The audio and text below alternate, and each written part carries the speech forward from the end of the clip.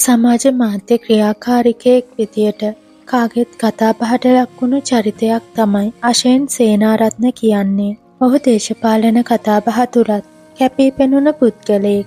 ඉතින් අශේන් සේනාරත්න පසුගිය දිනක යුගදිවියට පිවිසුණු බව මේ වෙනකොට හැමෝම දන්නා දෙයක්. ඔහුගේ අතගත් මනාලිය වුණේ ශ්‍රීනාති පෙරේරායි. ඇය ප්‍රබල දේශපාලන පවුලකට සම්බන්ධ ධනවත් පවුල් පසුබිමක් ඇති තරුණියක්. අශයෙන් සහ ශීනාදිගේ වෙඩින් එකේ නැටුමක් සමාජ මාධ්‍යයේ ගොඩක් ජනප්‍රිය වුණා. ඉතින් මේ ගැන ජනප්‍රිය නිරූපණ ශිල්පිනී පියුමි හංසමාලි කියල තිබුණ මේ විදිය කතාවක්.